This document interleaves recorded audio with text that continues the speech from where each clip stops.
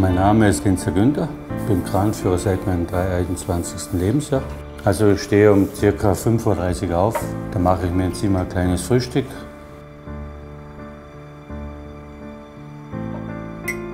Dann fahre ich mit der S-Bahn auf die Baustelle, im Container ziehe ich mich um, quatsche mal ein bisschen mit den Kollegen und dann gehe ich hoch auf den Kran, sodass ich um 7 Uhr bin. Also ich bin zwischen sehr viele Kräne gefahren, auch Autokräne, aber da auf der AG Marienhof, direkt in München, das ist ja eine große Herausforderung.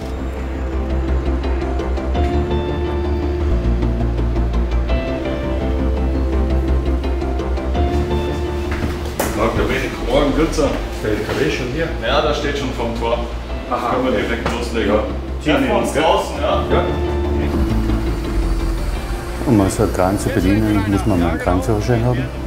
Soll man die Entfernung abschätzen können, ein räumliches äh, Vorstellungsvermögen haben und auch körperlich fit sein.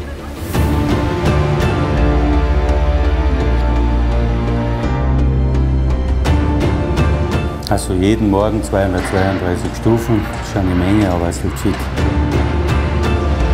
Das Besondere für den Kran ist einmal die Höhe von 70 Meter und vor allem die Traglast. Also er hebt 48 Tonnen und die 65 Meter Ausladung noch 16 Tonnen. Das ist für einen Turmtreckkran schon was Außergewöhnliches.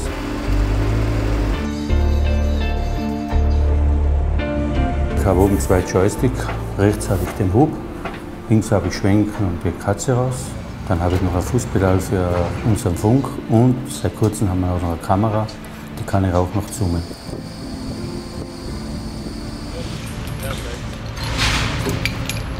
In meiner Kabine habe ich so alles, was ich brauche.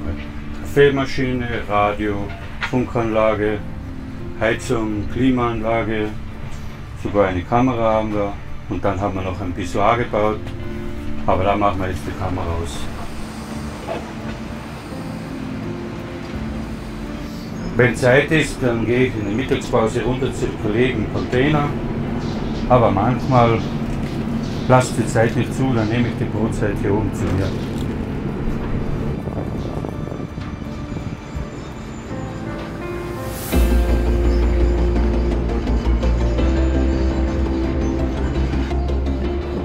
Mein Arbeitsplatz ist schon ganz was Besonderes. Ich genieße jeden Tag die tolle Aussicht.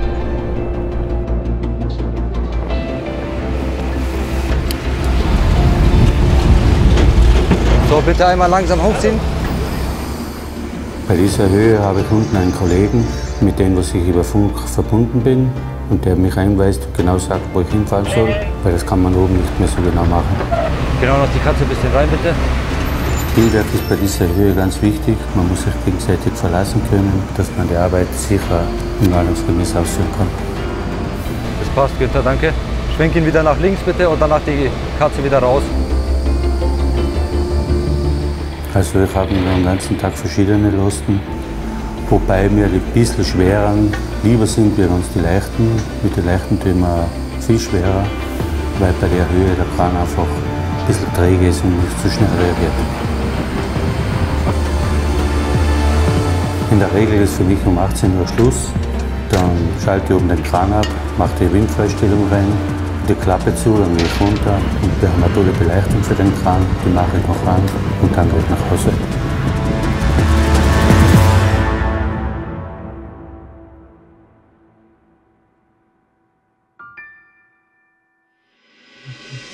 Thank